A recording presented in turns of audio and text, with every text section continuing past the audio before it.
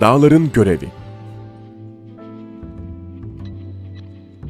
Bir Kur'an ayetinde dağların çok önemli bir özelliğine dikkat çekilir. Dağların yeryüzündeki sarsıntıları önleyici özelliği.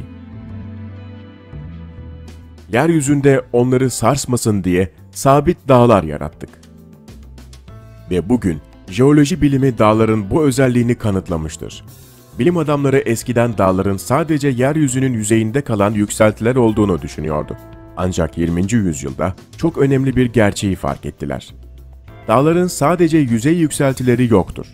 Dağ kökü adı verilen kısımlarıyla kimi zaman kendi boylarının 10-15 katı kadar yerin altına doğru uzanırlar.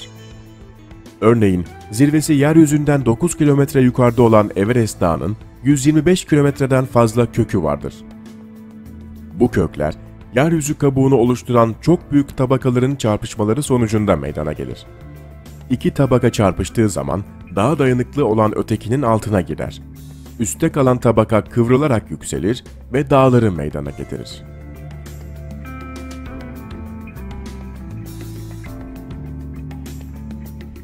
Altta kalan tabaka ise yer altında ilerleyerek aşağıya doğru derin bir uzantı meydana getirir. Bu uzantılar da dağ kökleridir. Dağlar kökleri sayesinde yeryüzü tabakalarının bilişim noktalarında yer kabuğunu sabitlerler. Böylece yer kabuğunun magma tabakası üzerinde ya da kendi tabakaları arasında kaymasını engeller ve bundan ötürü oluşabilecek büyük yer sarsıntılarını önlemiş olurlar. Bu özellikleriyle dağlar tıpkı tahtaları bir arada tutan çivilere benzerler. Allah Kur'an'da şöyle buyurmaktadır. Biz yeryüzünü bir döşek kılmadık mı? Dağları da birer kazık. Bu işlevin henüz kimse tarafından bilinmediği bir devirde Kur'an'da haber verilmiş olması ise bu ilahi kitabın bir başka büyük mucizesidir. Eğer dağların bu özelliği olmasaydı, yeryüzü üzerinde toprak birikmeyecek, toprakta hiç su depolanmayacak, bitkiler filizlenmeyecekti.